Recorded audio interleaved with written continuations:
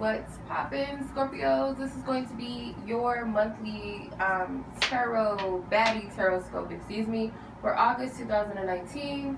So if you guys are Scorpios, Sun, Moon, Rising, or Venus Scorpios, this reading is for you. Keep in mind this reading is general, it's not a personal reading, so it may or may not pertain to you.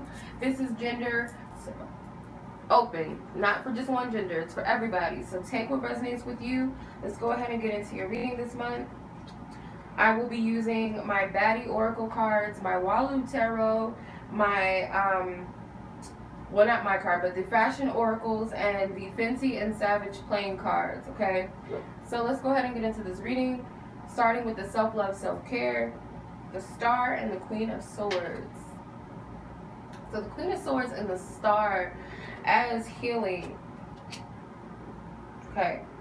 So this could be balancing out your imaginative energies, focusing more on um, maybe practical and logical things, or maybe rationalizing your ideas or putting them more to the ground, if that makes sense. So grabbing hold of your, um, my dog, sorry about that, grabbing hold of your creative energies and bringing them down to the physical and, you know, putting them in a place of practicality, if that makes sense. I'm sorry about my dog.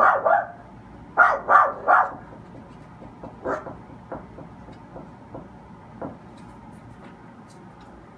about that.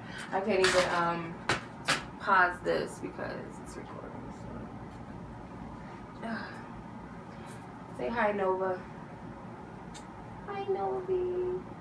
Um, so yeah, so what I'm getting with this is that more so this is a focus on your dreams and your goals, but putting them and bringing them down to earth and actually making something out of them or, you know, using your rational mind, your intellect to gather these things. Not getting too caught up in the you know the imagination world to where you can't you don't you know bring it down into the physical and actually do something with it.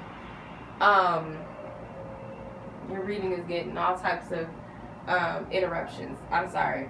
So, um, with your playing cards, you have the five of spades and the eight of hearts. So, some of you guys may be feeling a little bit of lack in, in imagination or feeling like hopeless when it comes to grabbing a, or obtaining a goal, something specifically that you feel is out of your reach. But it, like I said, it's all about bringing it down to the physical and actually, um, you know, making it something that's tangible. It's not that it's out of reach, but it's like you actually have to do something with. You have to mold it, if that makes sense.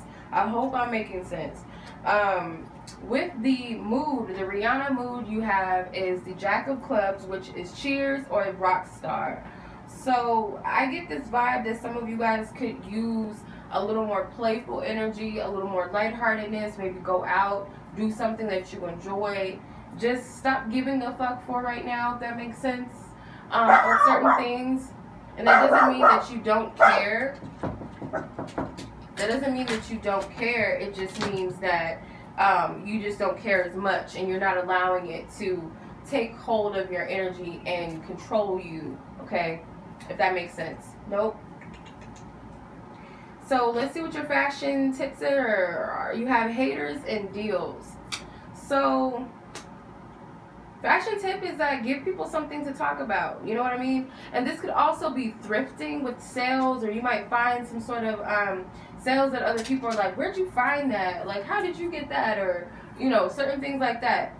Thrifting is like, you can't go wrong with thrifting. I've found some dope stuff on sales racks that other people might not even look at. And then when you put it on, everybody else is like, where'd you get that? That's the vibe I get from these cards. Or, oh, where'd you buy that from? Like, girl, I got this at the Goodwill, or I got this off a three dollar um, rack, and nobody looked over there, but you know, you found something and you made it work. This is the vibe I get for you guys, Scorpios, as far as your fashion tips. If you guys have haters, give them something still to talk about. That's what I'm saying. Don't be the hater. That's another thing. Don't hate on somebody else. But I feel this is more so you. And um, if you guys are a like a person that you know even at forever 21 and stuff like they have like a sales section or like a discount section you can find some really cute shoes in there you can find some nice dresses and stuff jackets and stuff even um i feel like people would hate on it like where did you get that piece from like no this ain't on fashion nova but this is you know, you can't find this on Amazon. This is something that I just, you know, went around the way and picked up. So yeah. Um, so your fashion oracle card is Philip Treacy. Treacy. I hope I'm pronouncing his name right. A hat is a statement, not a shelter. Dress from toe to trilby. Um, millinery is isn't invite only. Invite only. I hope I'm pronouncing this right. These words right. So that is your fashion oracle. I apologize for the disruptions, y'all.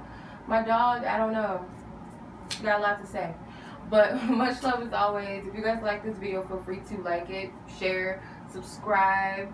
Also, um, you guys would like to purchase any of my personal decks, the Baddie Oracle and the Walu Tarot, or any other of my decks, you guys can check the description box.